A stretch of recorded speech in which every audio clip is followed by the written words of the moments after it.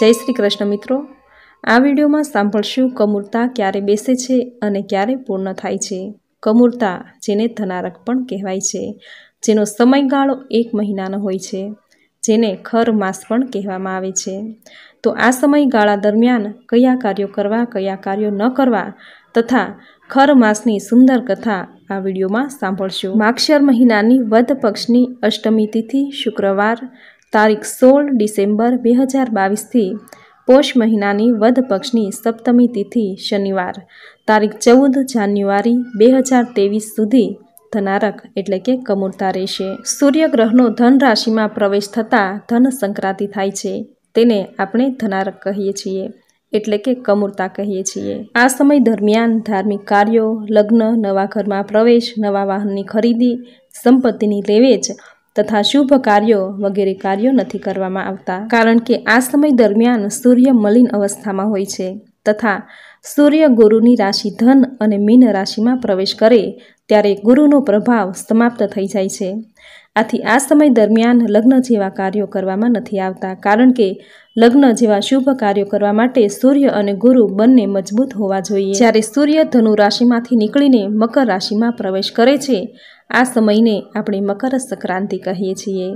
આ સમયે કમૂરતા પૂરા થઈ જાય છે અને આ દિવસથી જ શુભ માંગલિક કાર્યની શરૂઆત થાય છે. આમ સૂર્યની ધન રાશિથી મકર રાશિમાં પ્રવેશ થવાના સમયગાળાને આપણે ધનારક એટલે કે કમૂરતા કહીએ છીએ, જેને ખર માસ પણ કહેવામાં આવે છે. માર્કંડેય પુરાણમાં વર્ણવ્યું છે કે ખર માસમાં પિંડદાન કરવાથી પિતૃ ઋણમાંથી મુક્તિ મળે છે. જે રીતે ભાદરવા માસમાં શ્રાદ્ધ તર્પણ અને પિંડદાનનું મહત્વ છે, તેટલું જ મહત્વ ખર માસમાં શ્રાદ્ધ તર્પણ અને પિંડદાનનું છે. આમ એક મહિના દરમિયાન બૃહસ્પતિ ગ્રહનો પ્રભાવ ઓછો થઈ જાય છે અને સૂર્યની ચાલ પણ ધીમી થઈ જાય છે. આથી આ સમય દરમિયાન માંગલિક કાર્યો નથી થઈ શકતા. પરંતુ પૂજા, પાઠ, મંત્ર, જપ, દાન, ધ્યાન વગેરે કરવું ખૂબ જ શુભ રહેશે. કારણ કે કમૂરતા દરમિયાન નિસ્વાર્થ ભાવે કરાયેલા દાનનું ખૂબ મહત્વ છે.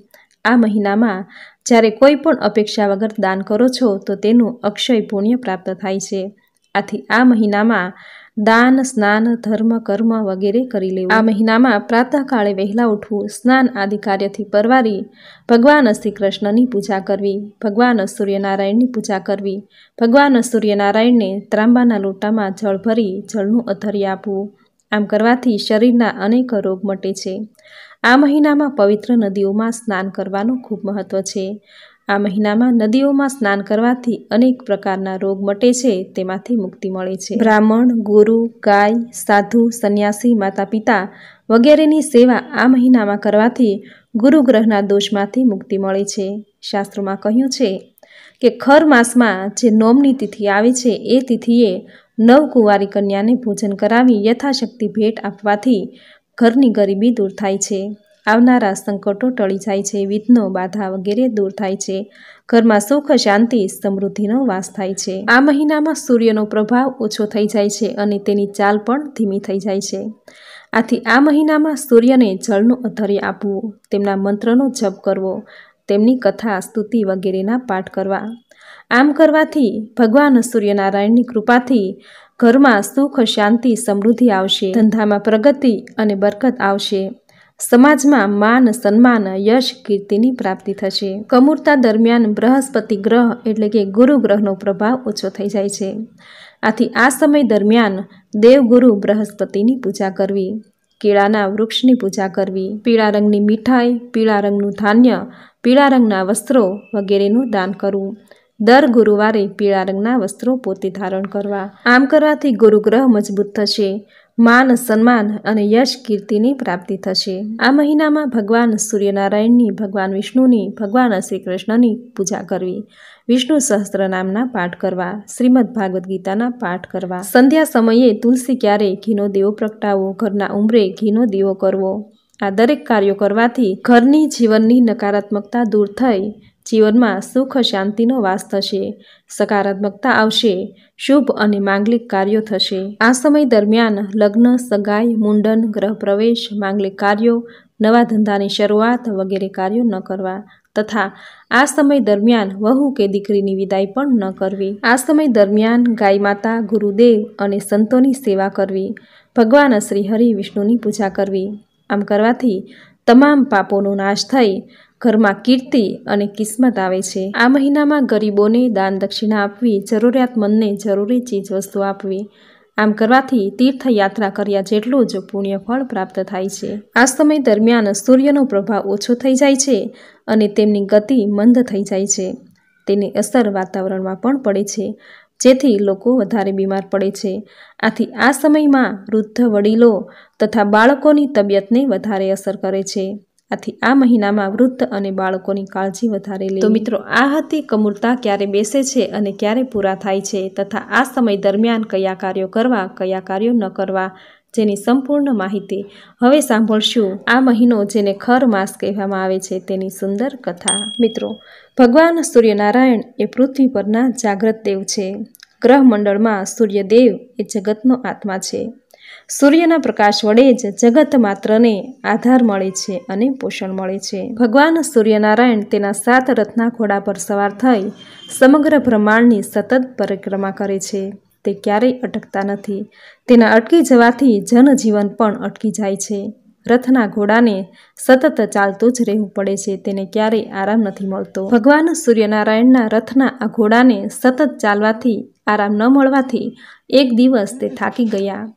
ભગવાન સૂર્યનારાયણ એ તો જીવ માત્રના પ્રાણી છે. તે સમજી જાય છે કે મારા ઘોડા થાકી ગયા છે. તેમની આ દશા જોઈ ભગવાન સૂર્યદેવ પણ દુઃખી થઈ ગયા. ભગવાન સૂર્યદેવે ઘોડાઓને એક તળાવના કિનારે આરામ કરવા માટે લઈ ગયા.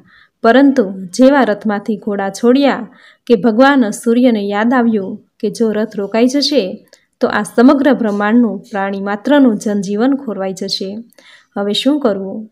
તેઓ વિચાર કરતા હતા અને ઘોડાઓ પણ થાકેલા છે. હવે શું કરવું? પરંતુ ઘોડાઓનું સૌભાગ્ય કે તળાવના કિનારે બે ગધેડાઓ પણ પાણી પીતા હતા. સૂર્યનારાયણની નજર તેના પર પડી. ભગવાને ઘોડાઓ તળાવના કિનારે પાણી પીવા માટે અને આરામ કરવા માટે ત્યાં જ મૂકી દીધા અને ગધેડાને રથમાં જોડી બ્રહ્માંડની પરિક્રમા કરવા લાગ્યા. ઘોડાની ગતિ ઝડપી હોય છે અને ગધેડાની ગતિ ધીમી હોય છે. એટલે ભગવાનનો રથ એક મહિનો ધીમો ચાલ્યો. આમ એક મહિનો પૂરો થયો, ફરી પાછા તળાવ પાસે આવ્યા અને ફરી તેમના ઘોડાઓને રથ સાથે જોડી દીધા અને રથની ગતિ ધીમી થઈ ગઈ. આ કારણે આ માસને ખર માસ કહેવાય છે. આ ખરમાસ એટલે ધનુર્માસ આ દરમિયાન કાળચક્રનું છઠ્ઠું સ્થાન પ્રભાવિત થાય છે અને ભગવાન સૂર્યનારાયણના રથની ગતિ ધીમી થાય છે. રથની ગતિ ધીમી થવાથી તેની અસર વાતાવરણ પર પડે છે. આ સમય દરમિયાન ઠંડી પુષ્કળ પ્રમાણમાં પડે છે. તેની અસર માનવ જીવનના આરોગ્ય પર પડે છે. શરદી, ખાંસી, તાવ, સાંધાના દુખાવા વગેરેનો પ્રભાવ વધારે જોવા મળે છે. તથા સૂર્યનું તેજ ઓછું થવાથી આ સમય દરમિયાન ચામડીના રોગ પણ વધારે પ્રમાણમાં થાય છે. આથી શિયાળા દરમિયાન ઘી, દૂધ, કાળા તલ, સફેદ તલ, ખજૂર, ગોળ, કોપરું, લીલા શાકભાજી, તુલસી વગેરેનું સેવન વધારે કરવું. શિયાળા દરમિયાન પાણી વધારે પીવું, શરીર પર તેલનું માલિશ કરવું જેનાથી ચામડીને રક્ષણ મળશે. તથા શિયાળા દરમિયાન જમીનની અંદર થતી શાકભાજીનું સેવન વધારે કરવું, જેમ કે મૂળા, હળદર, શક્કરિયા આદુ જે જમીનની અંદર થાય છે. જેનું સેવન શિયાળા દરમિયાન વધારે કરવાથી ઠંડી સામે રક્ષણ મળે છે. અને આખું વર્ષ રોગ પ્રતિકારક શક્તિ બની રહે છે. શિયાળા દરમિયાન ઘી, ગોળ અને ખજૂરમાંથી બનતી મીઠાઈનું સેવન કરવાથી શરીરને આંતરિક ગરમાશ મળે છે અને ઠંડી સામે રક્ષણ મળે છે. તો મિત્રો, આ હતી કમૂરતા ક્યારે બેસે છે, ક્યારે પૂર્ણ થાય છે તથા આ સમય દરમિયાન કયા કાર્યો કરવા, કયા કાર્યો ન કરવા તેની સંપૂર્ણ માહિતી. સાથે ખર માસની સુંદર કથા તમે પૂરી શ્રદ્ધાથી સાંભળી, જે સાંભળવી તમને જરૂર ગમી હશે. તો વિડીયોને લાઇક કરી કોમેન્ટમાં જય શ્રી હરિવિષ્ણુ, જય સૂર્યનારાયણ જરૂર લખજો. ચેનલ પર નવા છો તો ચેનલ સબસ્ક્રાઈબ કરી બાજુમાં બે લાઇકન પ્રેસ કરી દેજો. જેથી આપણા દરેક નવા વિડીયોની નોટિફિકેશન તમને મળતી રહે. તો ફરી મળીશું આવી જ નવી માહિતી, નવી કથા સાથે. ત્યાં સુધી આપ સૌને મારા જય શ્રી કૃષ્ણ.